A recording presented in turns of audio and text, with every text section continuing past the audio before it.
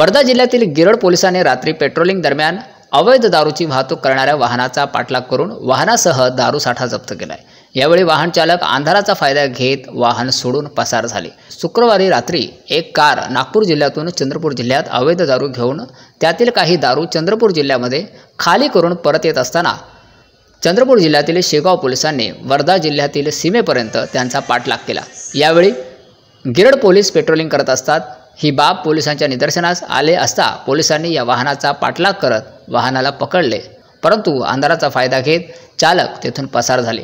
पोलिसांनी वाहनाची पाणी केली असता वाहनामध्ये चोवीस हजार रुपये किमतीच्या देशी दारूच्या दोनशे चाळीस बाटल्या आढळून आल्या. अधिक तपास पोलीस करत आहेत. न्यूज फिफ्टीन मराठीसाठी अमोल झाडे समुद्रपूर वर्धा.